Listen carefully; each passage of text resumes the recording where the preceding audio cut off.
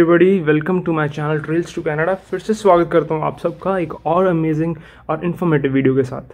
सो so, आज हम बात करने वाले हैं post graduate diploma and masters इसमें क्या फ़र्क है? जो भी इंडिया से आ रहा है या कहीं से भी आ रहा है वो कैसे डिसाइड कर सकता है कि मैंने मास्टर्स करनी है या post graduate diploma so guys ज़्यादा टाइम ना वेस्ट करते हुए सीधे चलते हैं वीडियो की तरफ़। इसमें सबसे पहले हम बात करते हैं मास्टर्स की। So so, masters and post graduate diploma दोनों ही स्टडी पाथवे है कनाडा आने के लिए।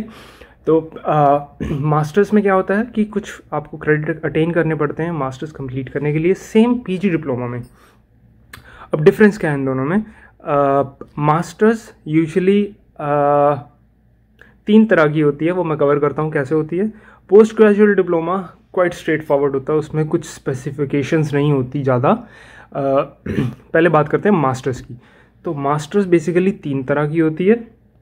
पहली मास्टर्स होती है जो कोर्स बेस्ड हो सकती है, जिसमें सिर्फ़ आपको सिंपली कोर्स लेने हैं कोर्स फिनिश करने हैं, ख़त्म करना है masters finished second point masters होती है, जिसमें आप बोल सकते हैं that is project based so उसमें आपको कोर्सेज के साथ साथ कुछ एक मेजर प्रोजेक्ट करना पड़ता है और प्रोफेसर आपको उसके अकॉर्डिंगली क्रेडिट देता है, कितना आपने अच्छा परफॉर्म किया, कैसे किया है। उसके अकॉर्डिंगली आपको क्रेडिट मिल जाते हैं। कई बार फुलफिल नहीं होते, कई बार फुलफिल हो जाते हैं। तो ईजी नहीं है वो वो मैं कवर करता हूँ लेटर ऑन कैसे होगा वो? और पीजी डिप्लोमा में बेसिकली इतने वो कोई मेजर प्रोजेक्ट्स नहीं होते। कुछ कोर्सेज लेने होते हैं क्रेडिट पूरे करके पीजी डिप्लोमा फिनिश हो जाता है। मास्टर्स के ये जो तीन कैटेगरीज हैं, वो एक एक करके कवर करता हूँ।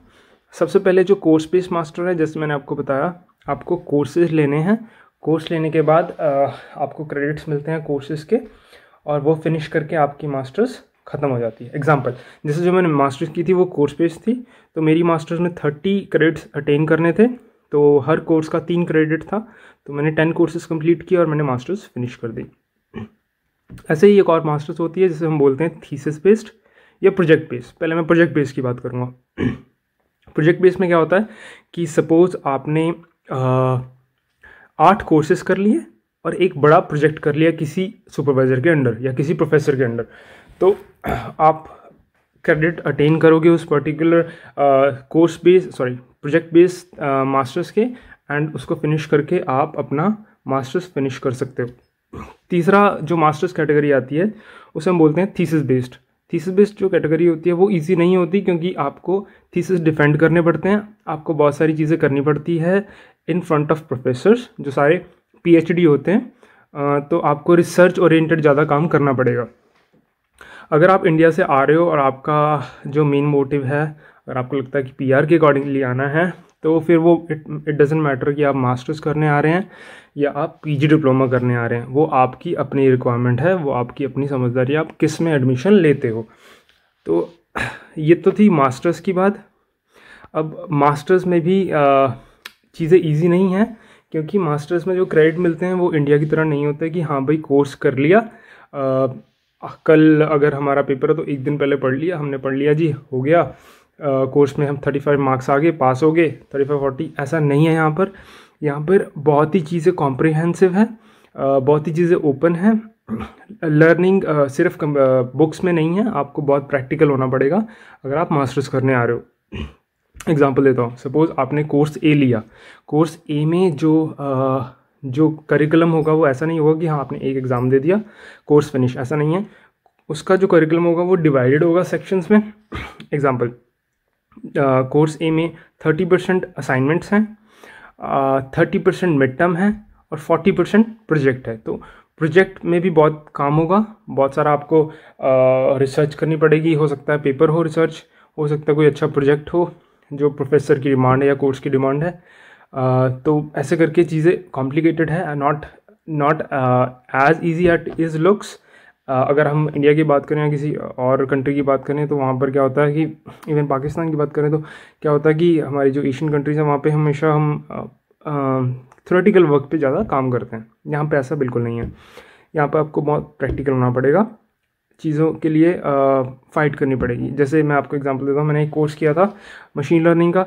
उसमें आ, उसमें मेरे को फाइव परसेंट असाइनमेंट के लिए भी इतना काम करना पड़ रहा था कि मुझे लगता था कि मैंने इंडिया में बैचलर्स में एक कोर्स के लिए भी उतना काम नहीं किया होगा। सो आप सोचो कि कितना ये टफ हो सकता है कि पाँच परसेंट क्रेडिट के लिए सिर्फ़ पाँच परसेंट क्रेडिट के लिए मेरे को इतना काम करना पड़ा कि मेरे को रात को सोना भी नहीं पड़ता था। पूरी रात बैठ के असाइनमेंट बनाते थे हम सारे मिलके।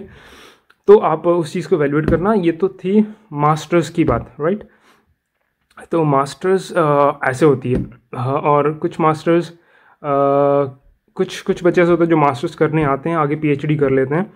तो उनके लिए मैं रिकमेंड करूँगा कि वो थीसिस बेस्ड मास्टर कर लें, क्योंकि उनका अगर इंटरेस्ट भी है और अगर वो पढ़ना भी चाहते हैं आगे तो वो उनके लिए बेस्ट रहेगा। अगर आप सोच रहे हैं कि पढ़ना हमें ना ज़्यादा पढ़े और काम भी बन जाए पीआर भी हो जाए तो यार सिंपल है। पोस्ट ग्रेजुएट डिप्लोमा में आ जाओ। ज़्यादा पढ़ाई नहीं होती। हाँ वो भी कॉम्प्रिहेंसिव कोर्सेज होते हैं ऑल बट इतने ज़्यादा हार्ड नहीं है एज़ कंपेयर टू मास्टर्स अब हम बात करते हैं एजुकेशनल गैप की। सो so, क्वेश्चंस आते हैं कि काफ़ी सारे क्वेश्चंस आते हैं कि हाँ भाई कितना एजुकेशनल गैप कवर हो सकता है? मास्टर्स के लिए या फिर पीजी डिप्लोमा के लिए? तो मैं आपको एक चीज़ क्लियर कर दूँ कि गैप मैटर नहीं करता अगर आप अच्छा कोर्स सेलेक्ट करते हैं तो। वेल एक्चुअली पर्सनल एक्सपीरियंस से बात करता हूँ। कल ही एक uh, एक बंदे से बात हो रही थी uh, सर थे हमारे मुंबई से। उनका थर्टी ईयर्स का गैप था। थर्टी ईयर्स उनको वर्किंग हो गया। उन्होंने एक कॉलेज में अप्लाई किया उनका कॉलेज से एडमिट आ गया। तो आप सोचो कि अगर आपकी इंटेंशन जेनवन है और आप असली में पढ़ना चाहते हैं तो इट डजेंट मैटर कि if you are having fifty years of experience if you having forty years experience कितना भी हो बट uh, कोर्स को टेक्निकली uh, स्पेसिफिकेशंस के अकॉर्डिंगली वाइजली चूज़ कर लो वो मैटर नहीं करता आपका गैप कितना है। अब इसमें एक और क्लिक uh, है इसमें एक और चीज़ है uh, जैसे अगर आपने बैचलर्स uh, किया है इंडिया से और वो फोर इयर्स की बैचलर है सपोज़ आपने बीटेक किया है या बीई की है तो मैं रिकमेंड करूँगा आप यूनिवर्सिटी के लिए ट्राई कीजिए। क्यों? क्योंकि मोस्ट ऑफ़ द यूनिवर्सिटी के जो मास्टर्स प्रोग्राम हैं, उसमें एलिजिबिलिटी इसी पे आती है फोर इयर्स बैचलर्स होनी चाहिए। तो फोर ईयर बैचलर्स हमेशा बी ई बी टेक वाले ही कवर करते हैं।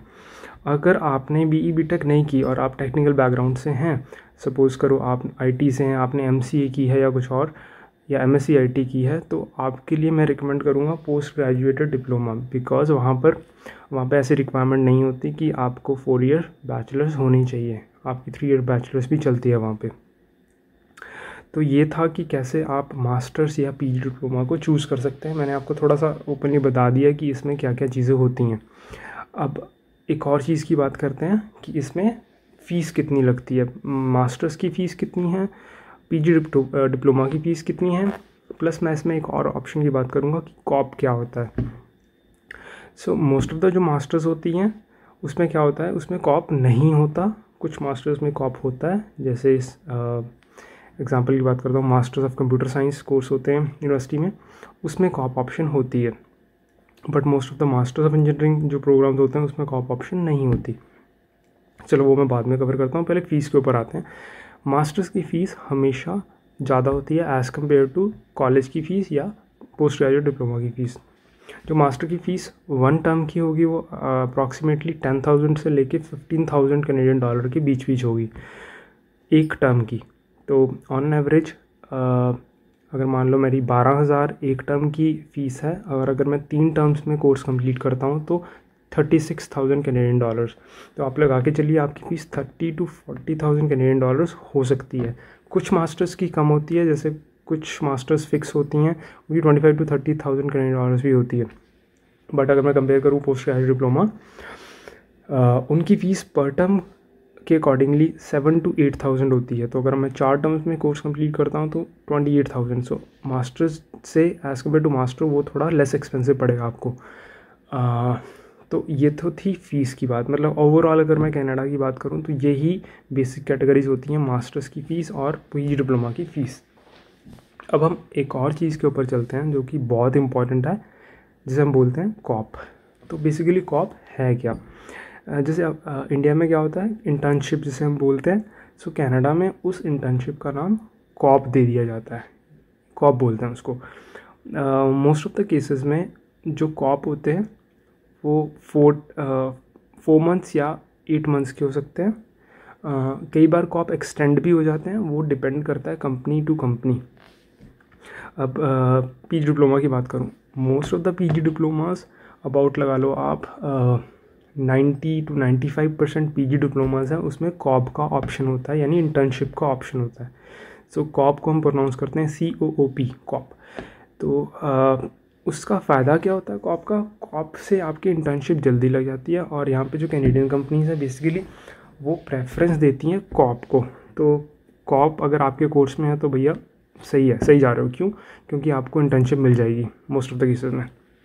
अगर आपके कोर्स में कॉप नहीं है तो कंसिडर करिए इस चीज़ को बहुत इंपॉर्टेंटली आपकी इंटर्नशिप नहीं लगेगी और आपके पास कैनेडियन एक्सपीरियंस नहीं होगा।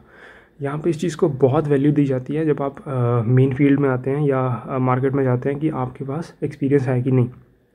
सपोज़ करो एक बंदा इंडिया से आ रहा है और उसके पास इंडिया का एक्सपीरियंस है एक अच्छी आईटी कंपनी का। और वो यहाँ आ गया, उसके पास उसके कोर्स में कॉप नहीं है। और आफ्टर द कोर्स कंप्लीशन वो गया भाई इंटरव्यू के लिए। और एक और बंदा आया जिसके कोर्स में कॉप था, वो गया इंटरव्यू के लिए। तो जिसने कॉप किया होगा कैनेडियन कंपनी में, उसको पहले जॉब मिल जाएगी एज़ कंपेयर टू उस बंदे को जो इंडिया से आया, जिसके पास अच्छी आईटी कंपनी का एक्सपीरियंस है। तो इस चीज़ को बहुत इंपॉर्टेंटली कंसिडर करना, अगर आप कोर्स सिलेक्ट करते हुए आ रहे हो तो मेक श्योर sure कि उसमें कॉप हो और आपको इंडस्ट्रियल एक्सपोजर मिल जाएगा। सो so, ये ये एक्चुअली नॉर्थ अमेरिका का कल्चर ही ऐसा है कि यहाँ पे प्रेफरेंस दी जाती है कैनेडियन जॉब एक्सपीरियंस को। सो so, आप उस चीज़ को हमेशा दिमाग में रखिए। अगर आपने कनाडा आना है और कोर्स सेलेक्ट कर रहे हैं तो ये चीज़ होगी जी कवर हमारी masters P G post graduate diploma उस कॉप क्या होता है क्रेडिट्स क्या होते हैं फ़ीस क्या होती है फ़ीस इसमें क्या डिफरेंस है दोनों में? तो ये तीन चार पॉइंट मैंने कवर करने थे आज। होप सो आपको वीडियो अच्छी लगी होगी। अगर आपको लगता है कि कोई और इन्फॉर्मेशन चाहिए तो मेरे को नीचे कमेंट करके बताना है वीडियो में कि आपको क्या इन्फॉर्मेशन चाहिए मैं उसके अकॉर्डिंगली वीडियो बनाऊँगा। और इम्पॉर्टेंटली मेरा टारगेट है कि आ, मैं आपको एसओपी के बारे में बताऊँ। मेरा कुछ चार पाँच साल का गैप था वो कैसे कवर किया मैंने एक स्ट्रॉन्ग एस से सो। So, मैं कवर करूँगा नेक्स्ट वीडियो में कि एसओपी कैसे लिखा जा सकता है। अगर आपका बहुत ज़्यादा गैप आ चुका है एजुकेशन में, आप थर्टी प्लस है फोर्टी प्लस है फिफ्टी प्लस है, आप कैसे एक स्ट्रॉन्ग एस बना के एक यूनिवर्सिटी या कॉलेज में एडमिशन सिक्योर कर सकते हैं? सो काइंडली गाइज़ इस चैनल को सब्सक्राइब कीजिए शेयर कीजिए फ्रेंड्स के साथ, ताकि किसी का भला हो सके, और जेनुइन इन्फॉर्मेशन देखने के लिए इस चैनल पे लाइक कीजिए सब्सक्राइब कीजिए हिट कीजिए bell icon thank you very much मिलते हैं नेक्स्ट टाइम एक और अमेजिंग वीडियो के साथ इन्फॉर्मेटिव वीडियो के साथ। तब तक के लिए good bye thank you take care stay safe